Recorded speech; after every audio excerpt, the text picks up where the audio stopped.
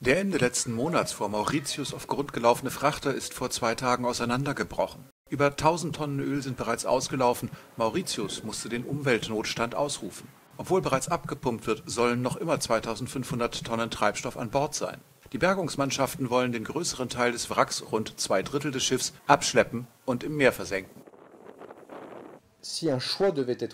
Sollte man sich dafür entscheiden, den vorderen Teil des Wracks zu versenken, dann möchte ich natürlich alle Gewissheit haben, dass es keine Auswirkungen auf die Umwelt in den Hoheitsgewässern von Mauritius, vor allem aber in den französischen Hoheitsgewässern und denen von Réunion gibt.